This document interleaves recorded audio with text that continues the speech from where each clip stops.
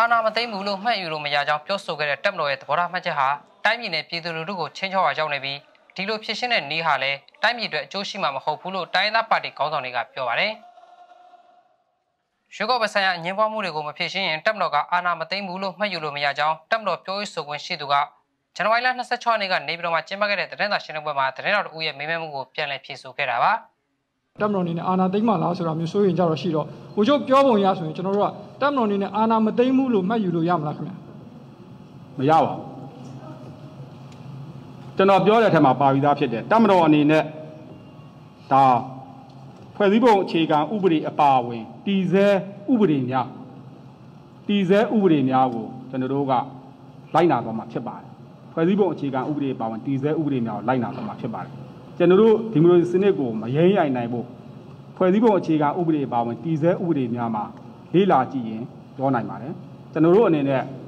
ပြောချင်တာကတော့ခဏကိုတမတော်အနေနဲ့နိုင်ငံတော်တောင်းယူမယ်လို့လည်းယူမယ်လို့လည်းမပြောဘူးမယူဘူးလို့လည်းမပြောဘူးကျွန်တော်တို့ပြောနိုင်တာဖွဲ့စည်းပုံအခြေခံဥပဒေအပါအဝင်လက်ရှိတည်ဆဲဥပဒေများကိုဖွဲ့စည်းပုံအခြေခံဥပဒေနဲ့မဆန့်ကျင်ပဲကျွန်တော်တို့လိုက်နာဆောင်ရွက်သွားမှာဖြစ်တယ်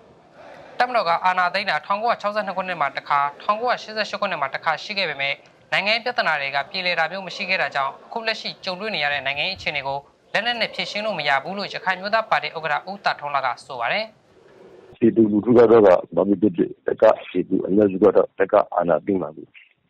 ။လူလာမှာမဟုတ်ဘူး။ဘာလို့လဲတက်ကအာဏာသိမ်းခဲ့တဲ့ပြည်ကျင်းတွေနဲ့နိုင်ငံနိုင်ငံရေးပြည်တွေမှာကြုံခဲ့ပြီးသားဖြစ်တယ် တက်ကအာဏာသိမ်းတဲ့အတွက်ကြောင့်ပြည်သူတွေဟိုအကျိုးပြည်သူတွေကအကျိုးမရှိဘူးဆိုတာကိုလည်းပြည်သူတွေတွေ့ကြုံပြီးသားဖြစ်တယ်။အဲဒါကြောင့်တက်ကသိတယ်ဆိုတာကဒါကနိုင်ငံနိုင်ငံရေးပြဿနာကိုဖြေရှင်းတဲ့လိုရလည်းမဟုတ်ဘူး။ပြည်သူတွေအတွက်လည်း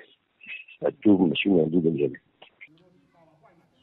တပ်မတော်ရဲ့ပြောဆိုချက်ဟာဖွဲ့စည်းပုံအခြေခံဥပဒေနဲ့ညီညွတ်မှုမရှိဘဲဒီလိုပြောဆိုတာဟာပြည်သူလူထုကိုချိန်ချောက်တဲ့သဘောအနေအထားမျိုးဖြစ်တယ်လို့လည်းကရန်မျိုးသားပါတီဥက္ကဋ္ဌဖြစ်သူခွန်ပီတူကမှတ်ချက်ပေးပါတယ်။အာတပ်ဖက်ကမနော်အာဏာမသိမ်းနိုင်ဘူးလို့ပြောလို့မရပါဘူးဆိုတာကတော့ဟိုကျွန်တော်ကျွန်တော်တို့အသေးပဲမရှိဘူးပေါ့နော်။အာရွေးကောက်ပွဲနဲ့ပတ်သက်ပြီးမှဟို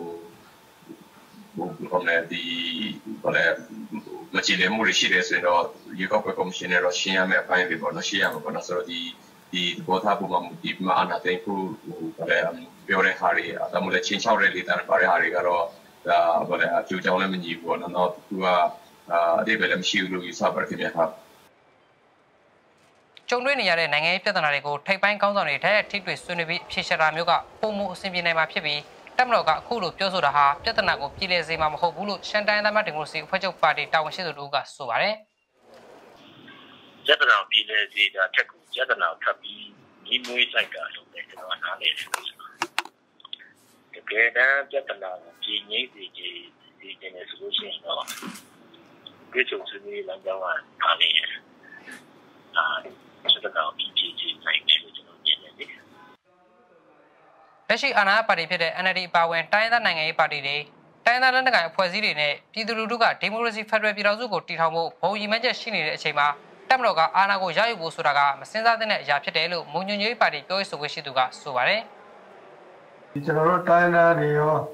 ဒီမျိုးသားဒီမိုစီဖွဲ့ချုပ်ရောဟိုတက်မတော်ရောဟိုတိုင်းသားနဲ့လက်လက်ကိုင်ဖွဲ့စည်းကြီးအားလုံးကဒီကျွန်တော်နိုင်ငံကိုဖွဲ့တဲ့ပြည်တော်စုနဲ့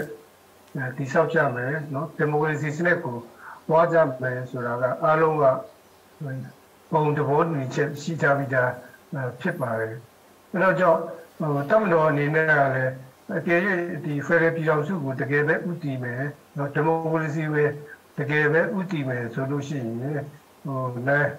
နိုင်ငံတော်အာဏာကိုရယူဖို့ဆိုတာကဒီတမတော်အနေနဲ့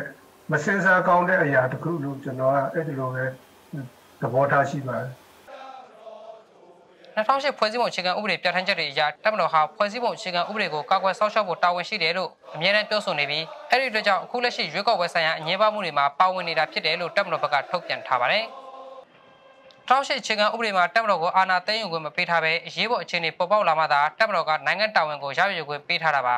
။ဒီလိုရယူခွင့်ကိုလည်းနိုင်ငံတော်သမ္မတကတာဝန်ပေးမှသာရယူနိုင်တာဖြစ်ပြီး အအရေးပေါ်အခြေအနေပေါ်ပေါက်တာကိုတမန်တာနဲ့အမိန့်ထုတ်ပြန်တာကလည်းနိုင်ငံတော်တမန်တကတာဆောင်ရွက်နိုင်တယ်လို့2008ဖွဲ့စည်းပုံမှာဖော်ပြထားပါတယ်။